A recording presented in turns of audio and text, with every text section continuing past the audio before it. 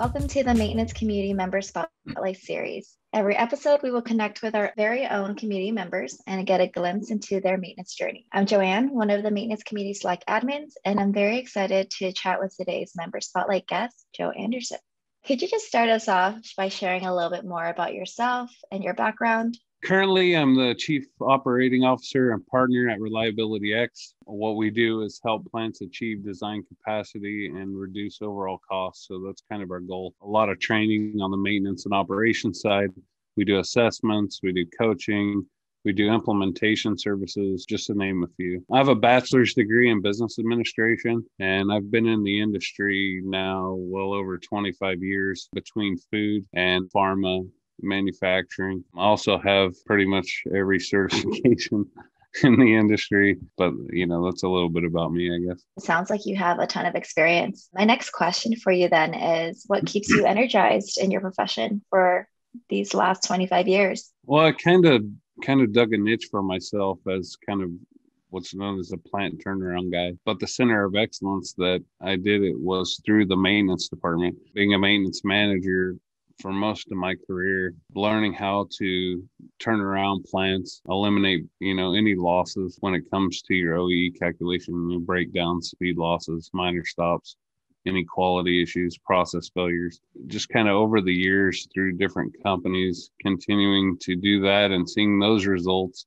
i guess results are what keep me energized right? And seeing other people be successful and showing them the way on how you can be successful doing the same thing which is what we currently do now as we went out in, into the consulting field, seeing results at these locations and people getting excited and engaged and understanding how to run the business correctly. To me, there's no greater feeling.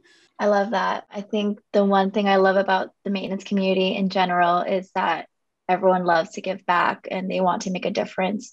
And that seems to be the normal trajectory of a person in maintenance. So I absolutely love that response. And so that kind of leads me to the maintenance community. You know, how did you first hear about us? You know, how has it helped you in your journey in maintenance and reliability? When Ryan decided to start it, he kind of reached out to us to kind of help us and kind of partner with you guys. And so we've been alongside of you this whole time and you know being able to respond to questions give feedback and then learn from others. The thing that keeps me interested in all this is the fact of hearing other people's stories because there's always something that you can learn from it. And so that's always been a plus for me. And then seeing other people's experiences and then maybe adopting some of those practices in your own life uh, it always helps. And so it's it's definitely appreciated. And to see the growth of the community has just been fantastic you guys have been doing a great job. Thank you. I really appreciate it. And, you know, just like what you said about learning about each other's experiences and journeys. And this is exactly what this podcast is for, is to do just that. So I guess for the maintenance community itself, what's the best piece of advice you've ever received that you would like to pass on? To be honest, it's a little lengthy, but once you understand it, the work and the level that it takes to get to where you need to be. But the way that I've always been taught is that there's basically four levels of enlightenment when it comes to any profession, regardless of the profession. But there's the level of knowledge, there's the level of wisdom, the level of understanding, and then the level of insight. And so the goal is to strive to get to the level of what's called insight, which insight, you know, builds self confidence and competence, which is needed especially when you're changing within an organization. But as you experience wins and and get results, no matter the naysayers that say that it can't be done, you know that it can because you've lived it over and over again. But to kind of explain those levels, so knowledge is a combination of learning and experience. So, for example, uh, going to training Uh, or listening to a webinar and then going out and trying to apply those principles to learn from them, that gives you knowledge, right? And so that's kind of level one. Where wisdom is the quality of having good judgment based on the knowledge that you've attained. So it's making good decisions based on that knowledge that continues to help you propel you in your knowledge and your competency, right?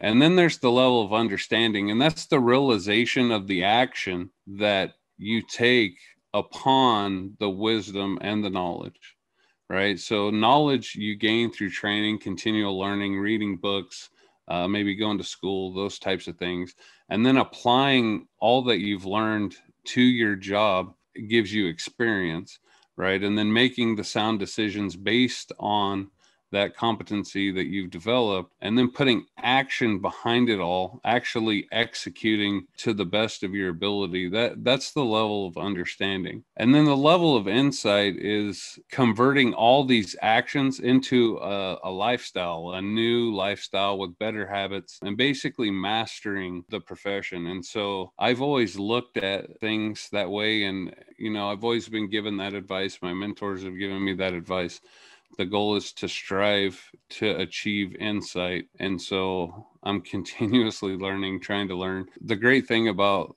this profession and maintenance is the more you dig into things, the more you realize you don't know.